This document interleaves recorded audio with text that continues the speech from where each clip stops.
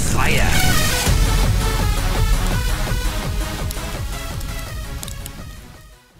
Saludos científicos. Vamos a continuar con nuestro tema vocal y hoy vamos a ver los adornos. Yo defino como adornos todos aquellos elementos que rellenan musicalmente la canción, ya sean acústicos o sintéticos, como por ejemplo pianos, guitarras, trompetas, eh, arpegios, violines, pads, plugs, etc. Realmente el término más técnico sería instrumentalización, pero como para mí solo adornan la canción, pues los llamo adornos. ¿Y tú callao? No me voy a parar demasiado en la síntesis ni en la rítmica, así que esto va a ser más un enseña y cuenta. Para más detalles podéis ir a mi otro vídeo, que os dejaré por aquí arriba, donde os explico todo con más detalle. Realmente no hay ninguna regla sobre qué debe y no debe introducirse. La instrumentalización dependerá mucho de la temática del tema. En este ejemplo, que es el remix que hice del nuevo Zelda Tears of the Kingdom, he usado bastantes cosas, ya que como es un tema más cinemático o de banda sonora, lo necesitan. Como os mostraré ahora, pues he usado muchas cuerdas, muchos violines, muchos celos, también mucho viento metal como trompetas y, y horns, cuernos, ¿vale? Que os voy a enseñar ahora. Aquí tenemos unos violines.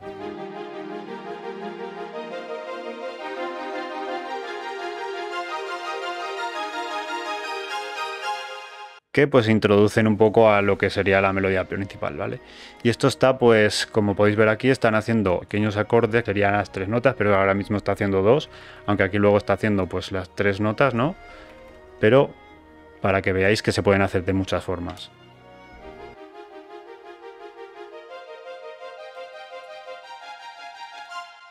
Y tengo varias capas para darle más gordura a todo. Y como podéis ver aquí, esto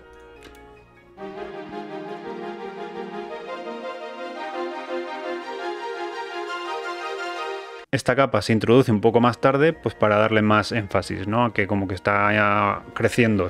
Aquí también tengo los, los sons.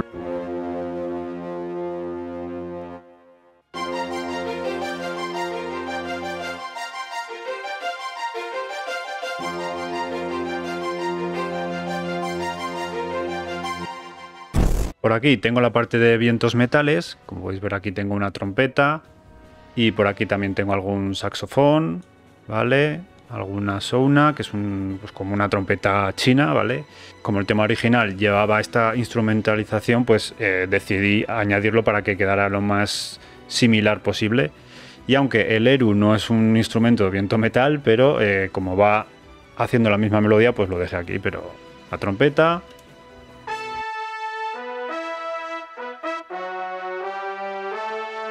saxofón,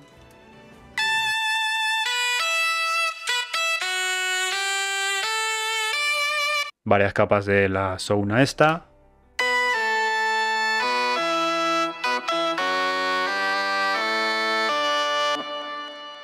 Y ahora el Eru.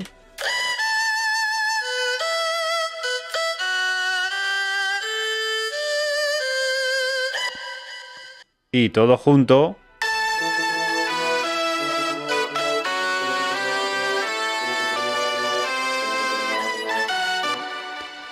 los vientos metales solos pues se quedan un poco vacíos, con lo cual hay que meter eh, que chelos, que si más eh, violines, todo junto, todo en conjunto ya suena grueso. Así que si vuestros parones veis que suenan eh, como muy simples, pues lo que único que tenéis que hacer es saber qué instrumentos combinar con qué instrumentos y al combinarlos pues darán esa gordura y todo suena más relleno.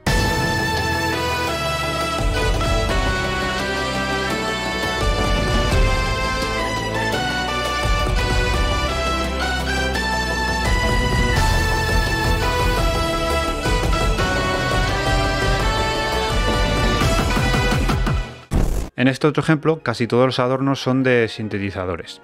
Aquí estoy usando eh, el arpegiador interno del Dune 3, que aunque es un preset, ¿vale? La gracia está en, en la secuencia que crea, que la base es esta.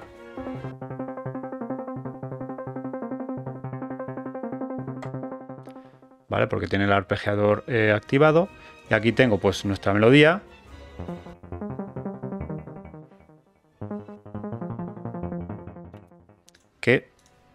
sin el arpegiador pues suena tal que así.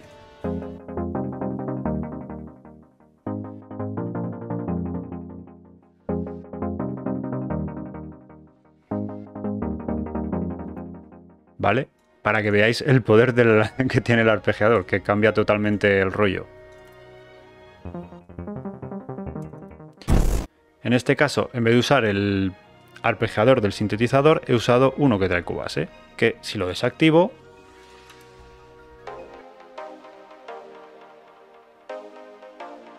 ¿vale? Está haciendo la progresión de acordes de la canción, que es la que estoy usando en los pads.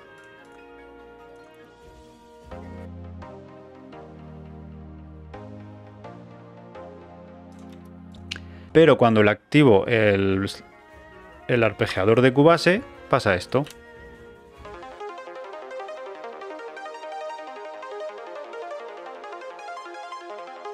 Entonces, pues como podéis ver, de una cosa que teníamos hemos obtenido otra distinta. En conjunto con todos los arreglos que tengo por aquí, pues queda así.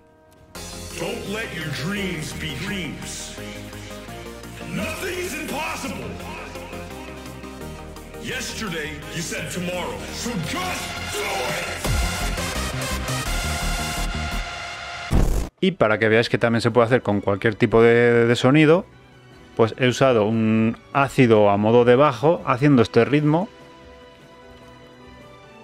para darle un toque diferente a este otro parón. Entonces queda así.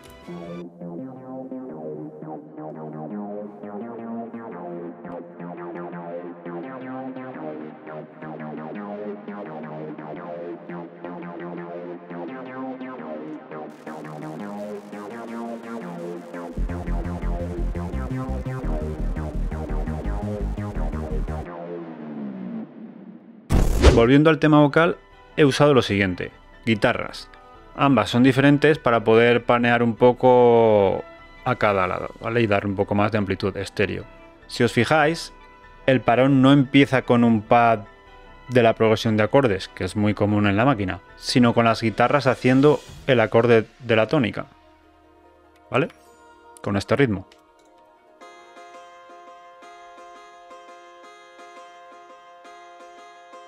Prestando atención veréis que ocupan cuatro compases, lo que sería media ronda o 16 bombos en el lenguaje del DJ, para que nos entendamos todos. Os comento esto para que abráis un poco la mente y salgáis de las estructuras típicas y no empezar siempre con el pad y demás, ¿vale? Entonces, ¿qué posibilidades tenéis un montón? Y esto quedaría así, ¿vale?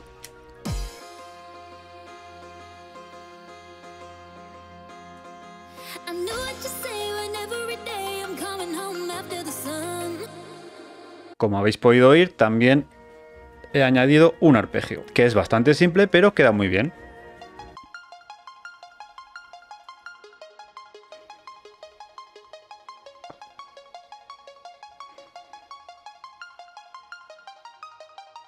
un pad, ¿vale? Con la progresión de acordes sostenida, que es de mi pack de Vital, ¿vale? El pad 1.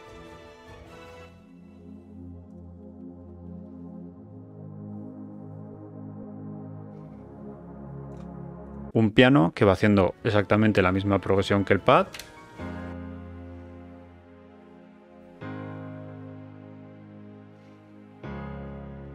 Un roll plug, ¿vale? Que está haciendo la tónica y la quinta.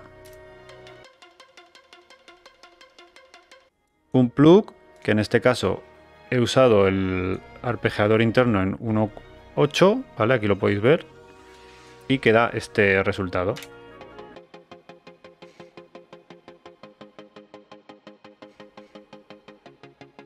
Que si desactivo el arpegio, que se podría hacer también así, ¿vale? De esta manera, cortando las notas a 1.8, pero pues si lo queréis hacer así bien, no pasa nada. Es lo mismo. Otro plug que en esta ocasión hace una parte de la melodía principal junto con unas campanas, unas, unos bells que hacen la otra parte de la melodía y esta es una de las tantas maneras que hay distintas de, de introducir nuestra melodía.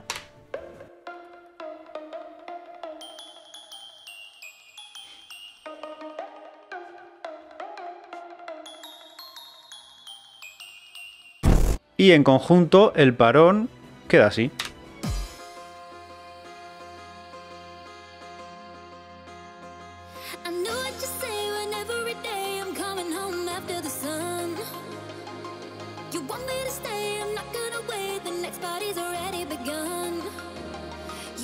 come around Cause your looks run out and you're feeling down.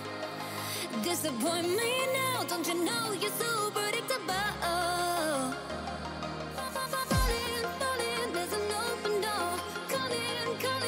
I'm wanting more. I'm wondering when I know for sure you wait.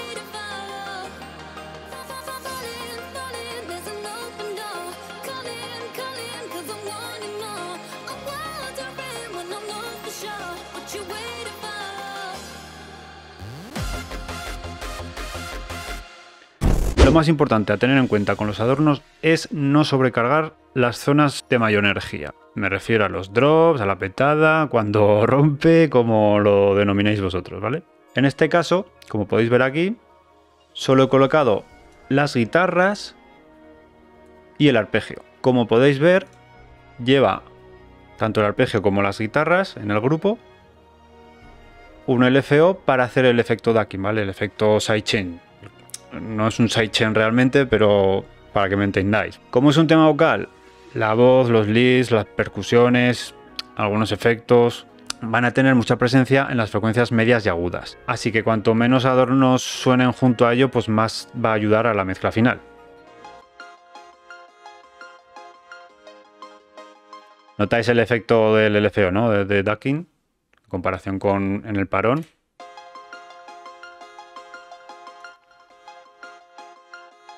Que bombea más, pues esto ayuda, es una forma de ayudar en la mezcla.